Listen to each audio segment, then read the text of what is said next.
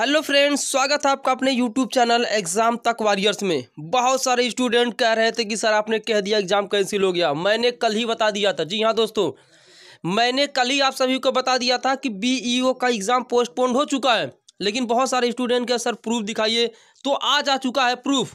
जी हाँ दोस्तों, आपके स्क्रीन पर दिख रहा है कि ये है आयोग के द्वारा जो यूपी पीसीएस के द्वारा जो दिया गया है, लिखित है।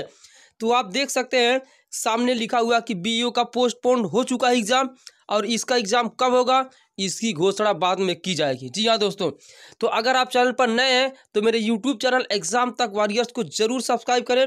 कोई भी सब्जेक्ट आपका अधूरा है तो कमेंट करके ज़रूर बताएँ। कोशिश की जाएगी मेरे द्वारा कि उसको मैं कंप्लीट कराऊँ। धन्यवाद दोस्तों।